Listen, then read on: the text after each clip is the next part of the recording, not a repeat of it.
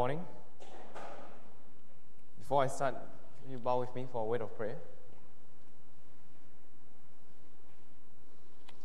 Dear Lord, we want to give you thanks and praise for this morning.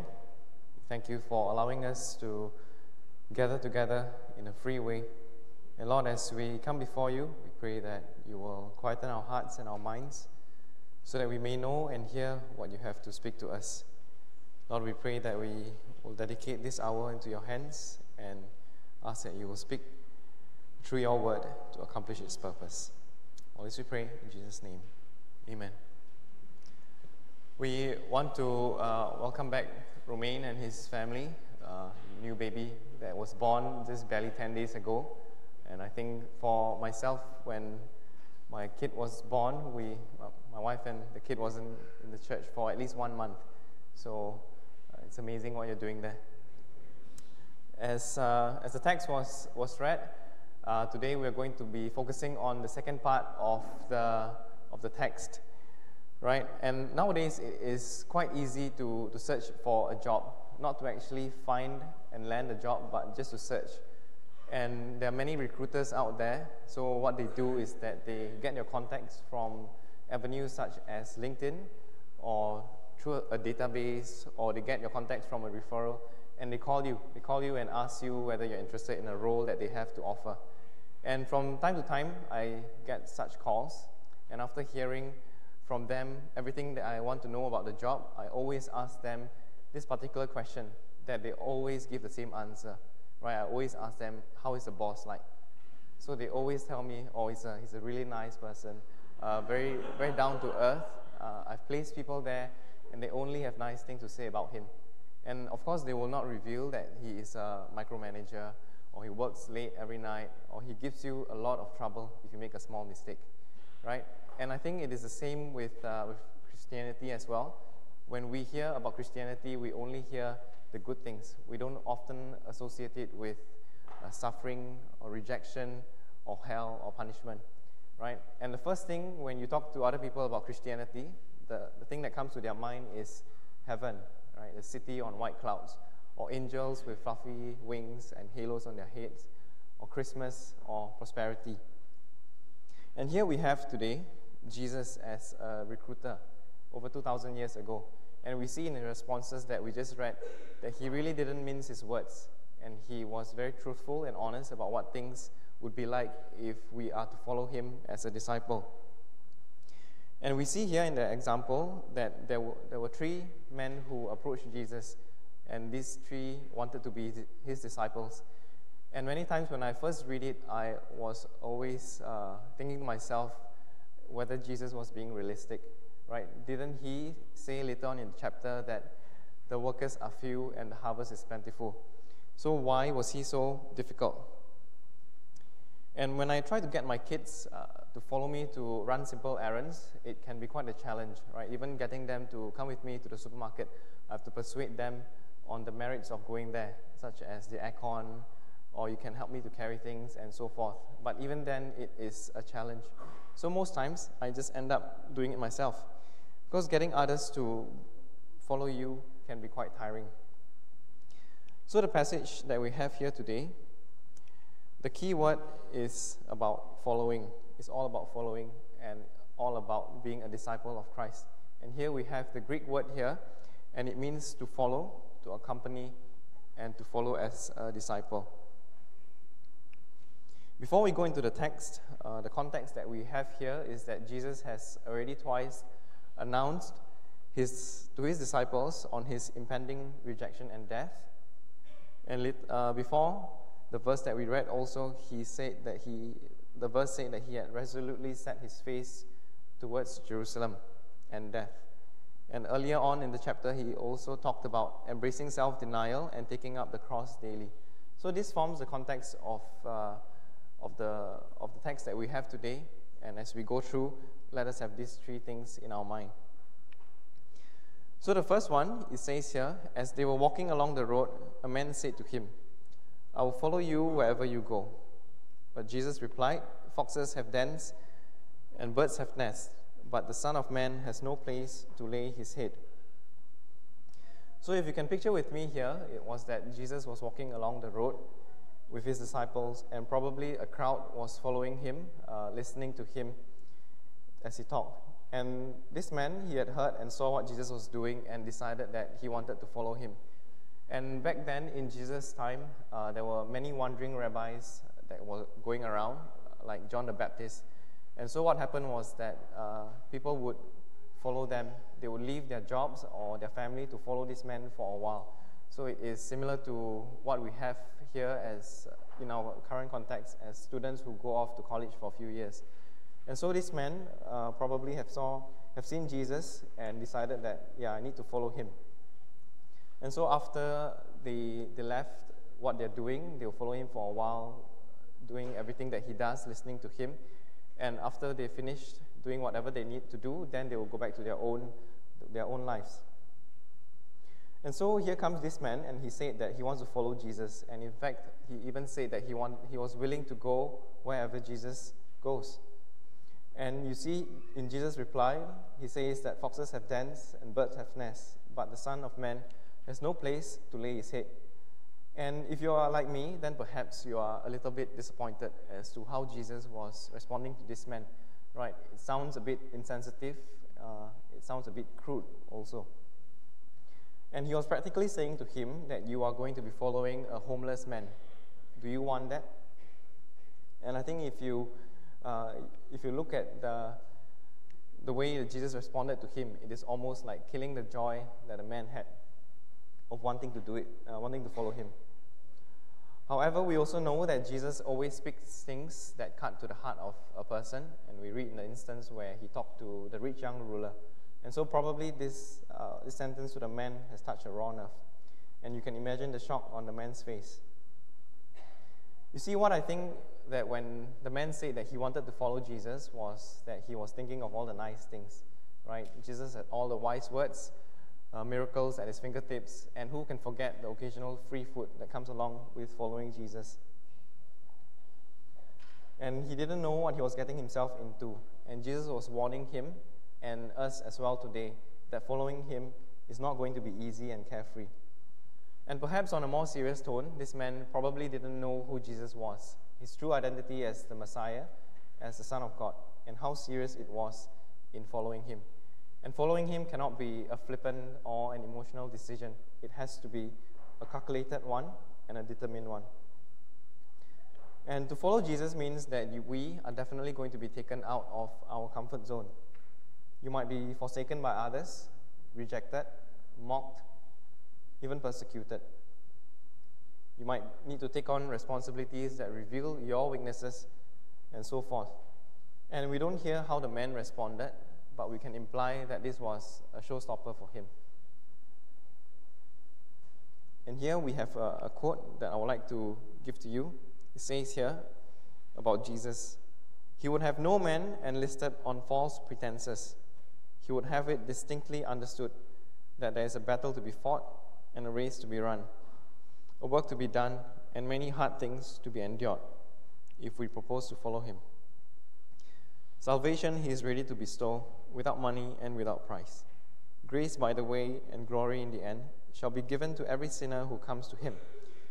But he will not have us ignorant that we shall have deadly enemies the world, the flesh, and the devil, and that many will hate us slander us, and persecute us if we become his disciples. He does not wish to discourage us, but he does wish us to know. And speaking about comfort zone, uh, try to think back on a time when being Christian involved you doing something that made you uncomfortable. And a couple of years ago, we had the food distribution where we gave food to the underprivileged and the poor. And so what would happen was that we would try to make conversation with, uh, with these people in my broken Mandarin and broken dialect. And I'm embarrassed to say that my group always end up being one of the first to finish because what we always did was just smile and give them the food and say, how are you? That's it, right? Because it's very hard for me to converse with them. Eventually it got a little bit better, but it was very, very difficult for me. And I think living as a Christian isn't meant to be easy. And if your life as a Christian is smooth and plain sailing, then I'm afraid that the devil has got you where he wants you to be, to be comfortable. Because it is in comfort that we refuse to grow, that refuse to mature, and refuse to make a difference for Christ. Now, don't get me wrong, I'm not saying that as a Christian our life should be full of hardships. But if we are to look at the lives of Jesus and his disciples, comfort was probably the last thing that they enjoyed. And think about it, we are going against the grain of the world. We're called to do it. Where the world seems screams prosperity and wealth, the Bible says, build your treasure in heaven. They say indulge your senses or pamper yourself, but the Bible says love your enemies. While many wants to legalize abortion, the Bible instead states that each child is fearfully and wonderfully made in the womb. And again, there are many other topics such as terrorism, LBGT, and so forth. We are called to be different, and being different is not going to be comfortable. And so think back on the time when being a Christian makes you do something uncomfortable. And maybe for some of us, involves uh, taking up responsibilities or having the courage to speak to a stranger in church. Or how about just visiting a local congregation when you are on holiday? And when I, when I suggest this to people, I always get the look. You know, that kind of look that makes you feel dirty for even suggesting it, right? Because in their mind, they're thinking, oh, there's a buffet breakfast that runs at 10, and you're telling me that I should go to church. Or the beach is just 50 meters away, and you're telling me I should spend half the day in church. Right? So doing things as a Christian is not meant to be easy. It's not meant to be comfortable for us. And there's another quote here that says, there's a difference between interest and commitment. When you're interested in doing something, you do it only when circumstances permit. When you're committed to doing to something, you accept no excuses, only results. So that leaves us with a question that we only can answer. Are we following Christ out of interest or commitment? Are we discharging our Christian obligations out of interest or commitment?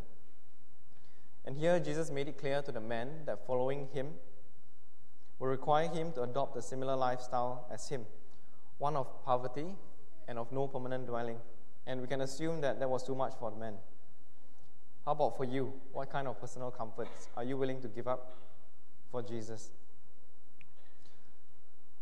The second point that we have he said to another man, Follow me. But the man replied, Lord, first let me go and bury my father. Jesus said to him, Let the dead bury their own dead, but you go and proclaim the kingdom of God. His answer, on one level, from the man, it seems quite reasonable. Right? In fact, many of you can recall a verse in 1 Timothy 5, verse 8. It says, But any, if anyone does not provide for his own, and especially for those of his household, he has denied the faith and is worse than an unbeliever. So, this statement from Jesus sounds like it was a contradiction to what was just pure filial piety.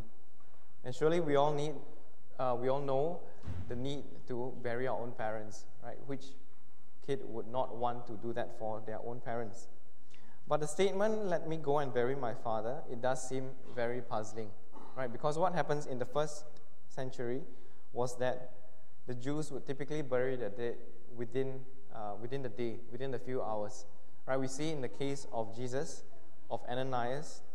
And so usually what will happen if, is that in the biblical times, when someone dies, is that they will take the body, they will wash it, and they will uh, prepare it by putting ointment, fragrances, and perfumes before they wrap the body up.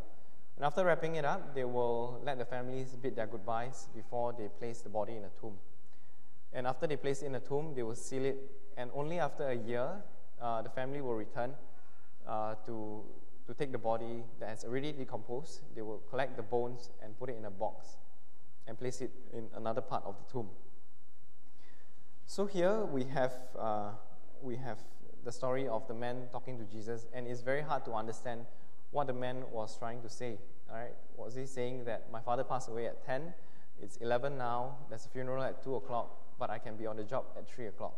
You know, it is quite, uh, it is likely, but it is not possible. Because what on earth is a man doing following Jesus if his father had just died, right? It doesn't sound very filial as well.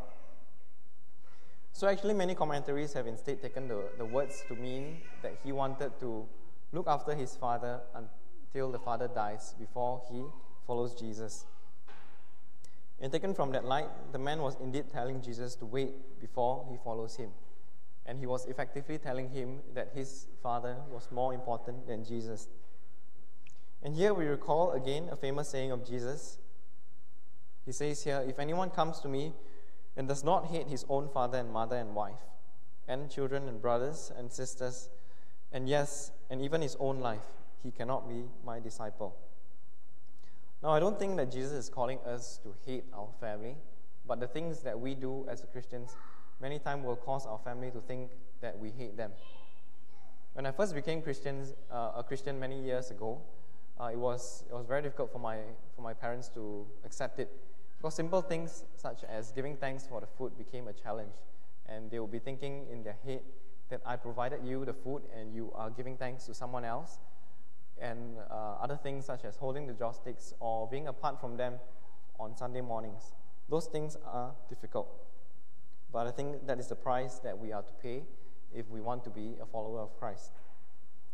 And I'm sure that many of us here sitting today, we sympathize with, with the man, right? Assuming that this man, uh, his father was still alive, probably quite old, and needs his help. And he wanted to care for him until he dies, right? It sounds quite reasonable. But we know also that this, for this man, Jesus directly called him. And when God calls you, you have no choice but to obey, aged parent or not. Now, it sounds really crude and irresponsible, but I think here Jesus laid bare the man's heart that it was not wholly dedicated to him. That he placed his love for his family above the love of Christ. And to Jesus, that was unacceptable because in his heart, in the man's heart, Jesus must be the first one and he cannot be second place to anything in our lives. And on the throne of our heart, only Jesus must be king and no one else. And we don't have to look very far, but to our CB deans who have left their family to, to migrate here to answer to God's call. And many times, God's call may not involve us to migrate or to move away from our family. But in our society today, the order of our priorities are all messed up. Right? If we think about it, the priorities that we, that we have in our world will look something like work, family, many, many things, hobbies, and then probably last will be God. So, how do we know if our family ties are hindering us from God's work? I think it is when we are so emotionally attached to our family that we refuse to leave them, either temporarily or permanently, to carry out God's work.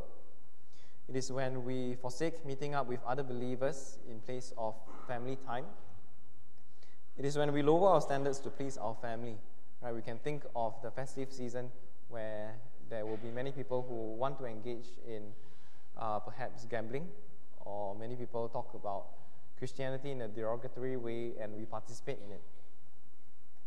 Or we make decisions that please our family instead of pleasing God first. Right, and many times when we ask, uh, when asked to go to serve, to do something for God, or to go to camp, or to attend some activity, and we typically hear this kind of responses. And some of these responses are definitely mine as well, right? They say, "Oh, that's my weekly family dinner time. I visit my grandparents only once a week, and I just can't give that up." Or my kids have enrichment class, or I have to bring my dog to the vet. This kind of things, right? And I think it isn't really got to do with our family commitments per se, but it is such that we we've packed our life in such a way that God always takes uh, the back seat. And when the first thing to go when we are faced with giving up something would probably be the spiritual matters. And I think when we use family as an excuse, we know that it is a legit reason. And when we use it, we will not be frowned upon and we will most likely be let off the hook. And like the first point, we are prepared, we're not prepared to go outside of our comfort zone to shift our priorities and schedule around. And when we consider Jesus' response, he says, Let the dead bury their own dead. It is not very surprising as well when we think really about what it really means. Because he was just emphasizing how important it is, right? And taken from another light, let the dead bury their own dead can also take, be taken to mean let the spiritually dead to bury the physically dead, right? Let the spiritually dead tend to these mundane tasks while the man is supposed to go and preach God's word. And to stretch this even further, Jesus was effectively saying that by not following his commands, we are spiritually dead. And again, we don't know what the man replied, but we can assume that he didn't follow Jesus. So the question, the second question that we have for us today is that are we putting our family ties above our relationship to God? And if someone were to point a gun to your head to say, renounce Christ or else, what would you say? I know it is extreme, but sometimes it is the extreme examples that show who we really are, right? Like the, like the text. The third man that we have, he says to Jesus, I'll follow you, Lord, but first let me go back and say goodbye to my family. And Jesus replied, No one who puts a hand to the plow and looks back is fit for service in the kingdom of God. And I think his request does seem the most reasonable of the three. Right? All he does was to bid farewell to his, uh, to his family. Right? Perhaps they will throw him a farewell party. Uh, they will say some nice words to him. There will be a few tears shed and so forth. It sounds very reasonable. So why can't he go home and bid his family goodbye? And here, this story is remarkably similar to the one that we have in the Old Testament of Elijah and Elisha. It says here in the verse, So he departed from there and found Elisha, the son of Shaphat, while he was plowing with twelve pairs of oxen before him, and he with the twelfth. And Elijah passed over him and threw his mantle on him.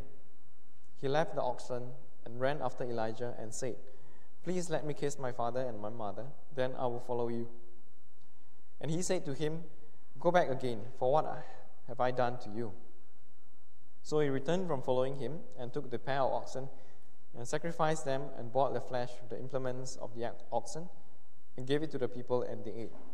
Then he arose and followed Elijah and ministered to him. If it was okay for Elisha, why was it not okay for this man?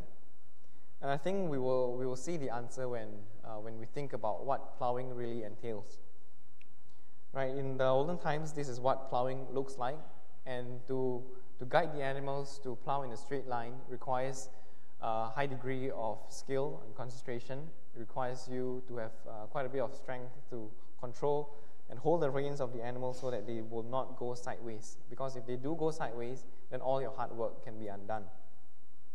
So if you look at Elisha, what he does, what he did was quite remarkable because he, he left what he was doing and ran after Elijah, meaning what he was what, what he had done throughout the day could have been uh, undone in that, in that moment. And I think those two actions were enough proof to Elijah that he was serious enough about following him, right? And we also read on in the following text that he eventually did sacrifice the, the oxen and he literally gave up everything to follow Elijah.